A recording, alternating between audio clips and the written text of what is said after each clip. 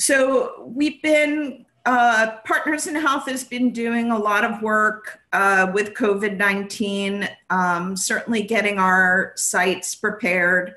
As you know, we're not a tech company, we provide healthcare and support and community health workers. So everyone has been um, lifting together to get all this ready in the 10 countries we work. Um, and also, we're doing work in the state of Commonwealth of Massachusetts in the US. So, what's already completed is that we've added um, CL COVID 19 and related diagnoses. We've also added to our PIH EMR um, lab orders and results for four um, SARS CoV um, 19 tests. Um, Dave and our clinical staff have been working and, and have completed uh, drafting three paper forms um, for admission, discharge, and progress for the patient. These would be used at facilities.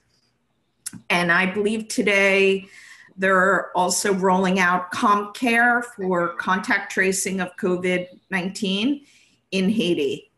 Um, in terms of what's been deployed, we already have the diagnoses and the lab orders rolled out at our largest hospital in Haiti at Mirebalais. Um, what's next? To deploy at other health centers um, those diagnoses and hopefully also labs um, because our platform is is used in currently in Mexico, Sierra Leone, and Liberia. It would be pretty simple to add that.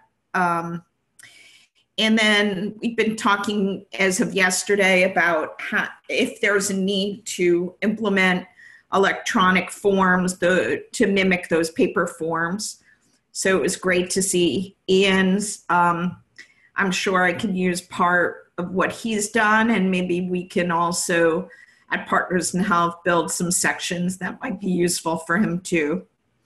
Um, and then, since we're talking about tech, I also should bring up that Partners in Health is working with the state Commonwealth of Massachusetts and uh, the Public Health Department, and also um, Accenture to build uh, contact tracing for 1,000 um, uh, uh, case, you know, case finders in Massachusetts who are going to be doing contact tracing. And this is not open at all. Uh, just to give you a quick idea, these are the 16 diagnoses that we've added specifically for COVID. And then um, this is what the lab um, order looks like. And uh, just to give you an idea, those are the four tests that could be possible. And we're following what uh, lab devices are available for each country to try to um, add the devices and the tests as quickly as possible. Um, in terms of how we would use those diagnoses, it's pretty simple that we would just use them wherever we have the ability to capture diagnosis, including consult note. And that's it. Dave, did you have something to add? No, that that's good. Um, I don't know if people are interested in seeing what the paper forms look like, but I can quickly show them if, if we think that that's interesting to people.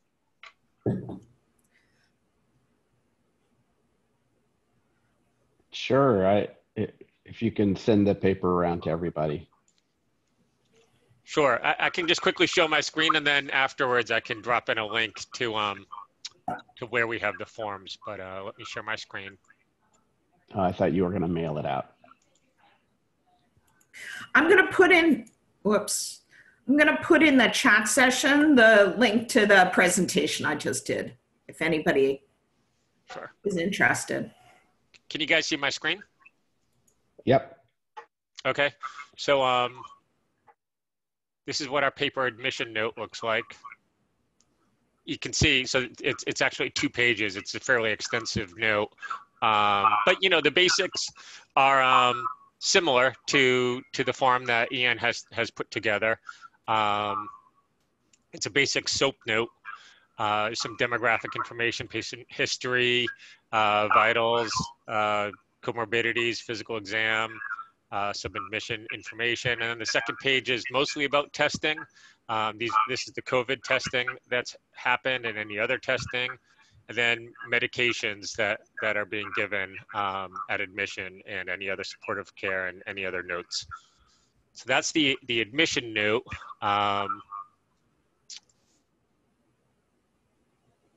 this is the daily progress note.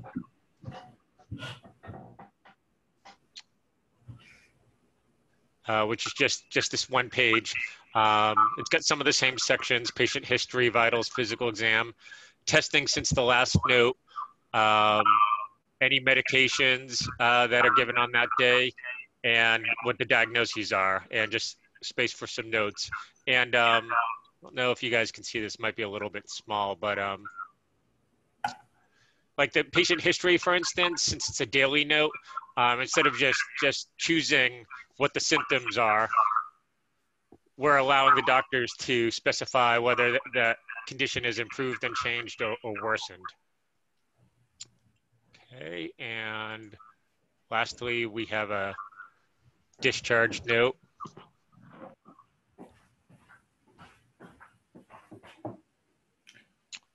Which again has some of the same same sections. Um, the different sections are, you know, medications being given to the patient upon discharge, a little bit about their stay in the hospital, were they in the ICU, how long, and um, what was given during the stay.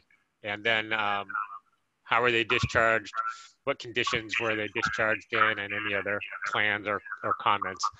And, and we don't know for sure if we're going to build these forms into OpenMRS just as is. We're, we're still working with the sites to figure out exactly what the workflow is, but this is what, what we've suggested as the paper forms. And um, you know, the next step is to do the um, the business analysis to figure out what exactly needs to be built. So that's where we are now.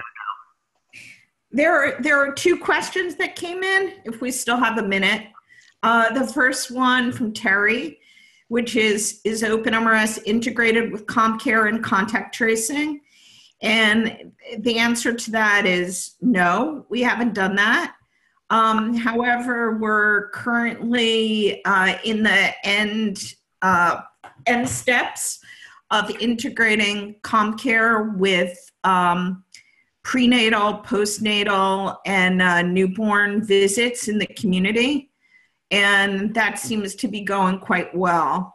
Um, and I'm not sure exactly of the schedule. That's also in Haiti that we're um, planning to roll that out, but it'll be fairly soon.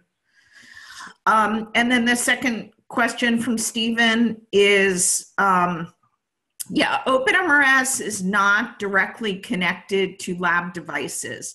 So when I showed the um, lab ordering and I didn't show the entering of the lab results, it's all done manually. What we really would like to have is a comprehensive system where we're fully integrated with uh, lab information system, but we we're not there.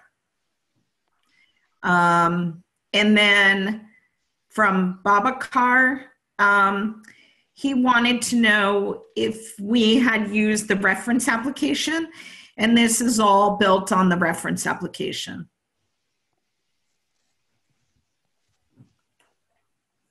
Thank you.